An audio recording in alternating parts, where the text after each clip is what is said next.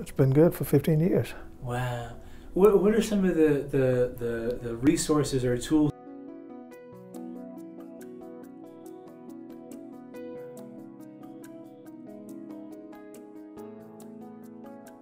Having them make mistakes and then helping them to correct the mistakes that they make, or, or as you realize how difficult the whole process is and you can break it down so they understand it.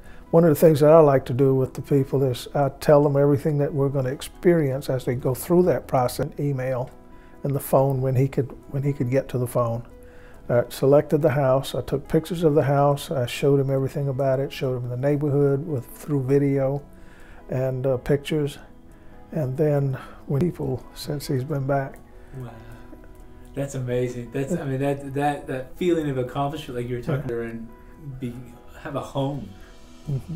Yeah. And and it's the appreciation that's shown. You you never forget the fact that people appreciate what you do for them.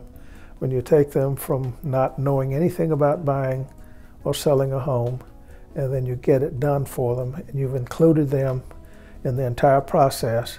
They learn in the process. You learn in the process, and then to see the end result is that person uh, signing that uh, home away list. So I make it real easy for them to uh, reach their goals. That's great. That's great. Mm-hmm. And and Winston, my, my at 71, I'm still climbing trees. Wow, that's amazing. That's amazing.